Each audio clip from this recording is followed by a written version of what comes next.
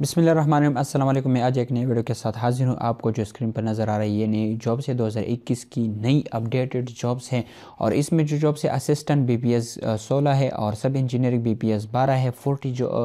Vacancy ہے اور آٹھ ویکینسی ہے۔ تو اس کے بارے میں، اس ویڈیو میں آپ کو ڈیٹیل سے بتاؤں گا۔ تو سب سے پہلے میرے چینل پہ اگر آپ نئے ہیں، تو سب سے پہلے میرے چینل کو سبسکرائب کیجیے اور بل کے ایک ان پہ لازمی کلک کیجیے تاکہ اس طرح کی نئی نئی اپڈیٹ آپ کو ملتی رہے اور بر وقت آپ اپلائی کرتے رہے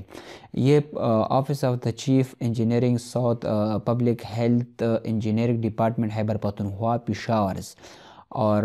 اس کی جو plot sector B two phase five ہے تابت پشاور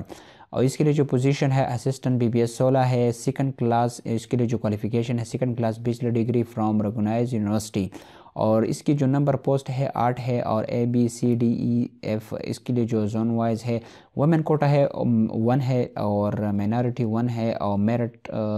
ٹو سیٹس ہے اور زون ون ایک زون ٹو ایک زون تھری ایک اور uh, زون فور کے لیے بھی ایک ہے اور اس کے لیے جو ایج لمٹ ہے، اکیس سے بتیس سال ہے۔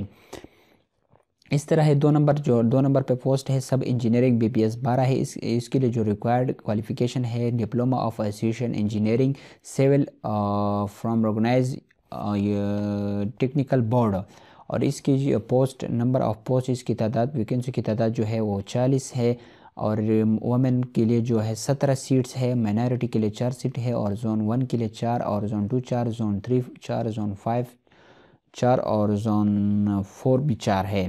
اور سوری زون فائیو تھری ہے اور اس کے لیے جو ایج ریکوائرڈ ہے اٹھارہ سے تیس سال ہے اور اس کی جو اپلائی ہے وہ ایٹا پہ آن لائن ہے اور اس کی جو لاسٹ ڈیٹ ہے پچیس ایک دو ہزار اکیس ہے اور اس کے لیے جو آپ اپلائی ایٹا پہ آن لائن کریں گے اور اس کے لیے جو ابھی تک